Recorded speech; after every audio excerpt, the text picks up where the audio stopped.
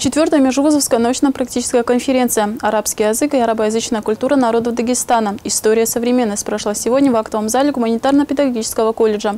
Мероприятие посвящено наступающему дню арабского языка. В нем приняли участие представители министерств и ведомств республики.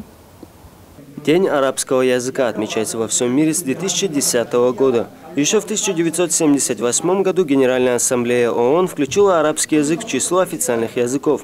Для нашей республики этот язык можно считать практически родным, ведь история горного края неразрывно связана с арабским языком уже более 10 столетий. Отрадно, что и руководство ГПК придает вопросу развития и изучения арабского языка в Дагестане большое значение, организовывая ежегодные конференции. Хочу отметить, что арабский язык является составной частью культуры народов Дагестана.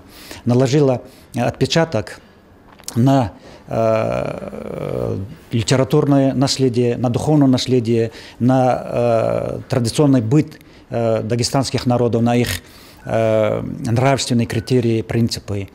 Э, поэтому мы не могли пройти мимо такой даты.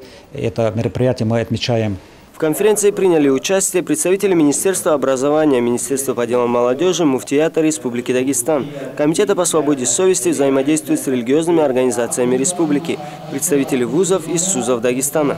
Участники конференции в ходе обсуждения затронули темы развития арабского языка в современных условиях.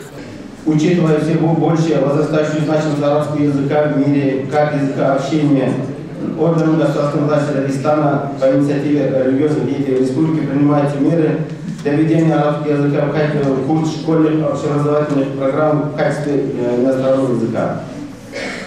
Надеемся, что сегодня состоится конструктивный разговор о роли и значении арабского языка и перспективах его развития, который приблизит нас к решению имеющихся в области проблемы. По завершению пленарного заседания участники конференции обсудили в двух секциях проблемы изучения и перспективы развития арабского языка, проблемы его преподавания в Дагестане. Возвращаясь к истории, можно отметить, что начиная с 7 века вплоть до 20 столетия арабский язык был неотъемлемой частью дагестанской культуры. Письменность была составлена по арабскому алфавиту, а национальные языки заимствовали большое количество слов, употребляемых до сих пор.